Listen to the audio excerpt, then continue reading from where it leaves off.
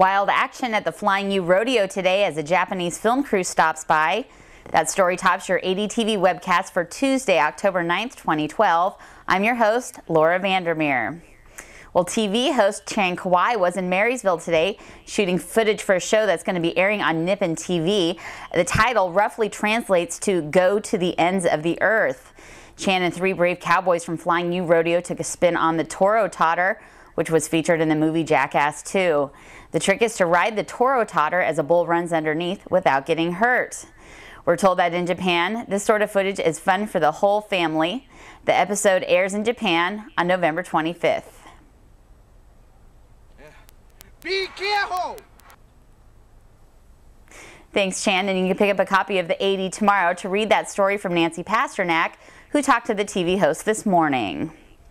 Well, the California Highway Patrol reported an accident online this afternoon described as a big rig versus a bicyclist. It happened along Live Oak Boulevard and Highway 99. We're working to confirm information and we'll have more in tomorrow's paper. And within the past hour, a different crash was reported, this time in Yuba City. The two-car accident was reported at Forbes and Clark Avenues. Two people were seen being taken to a hospital. Well, opening Friday at Gallery 34 in Marysville is The Fisherman and His Wife.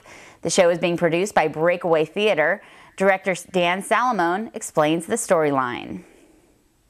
The Fisherman and His Wife, and it's about uh, a poor fisherman and his poor wife who live in a filthy, rundown shack.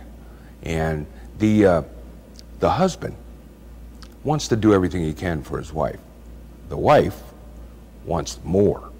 And you'll see as the plot goes on that she's not satisfied exactly with what she has. The fisherman goes out and he catches a magic flounder. And the magic flounder can grant wishes. So it's a real, real happy, happy play. And it's family oriented.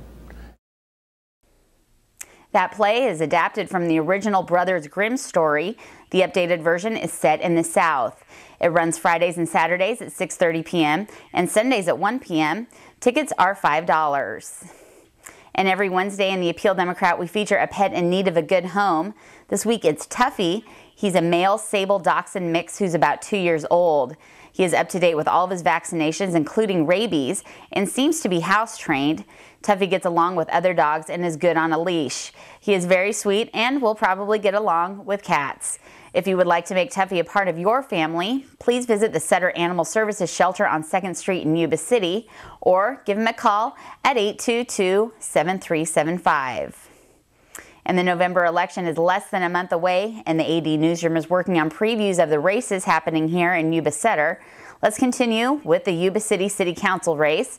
We chatted recently with Kash Gill.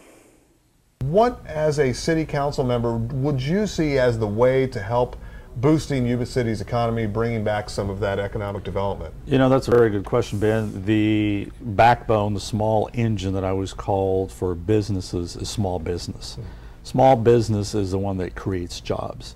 And anytime you have a small business that's going to hire anywhere from one to five employees, all of a sudden you're beginning to put people, you know, back to work. And if you're able to, as a small business, have incentives either from, from taxes, uh, payroll taxes, quarterly taxes, some of that kind of stuff, workman's comp, those are the types of small little issues or small little uh, incentives that's going to bring back businesses to work.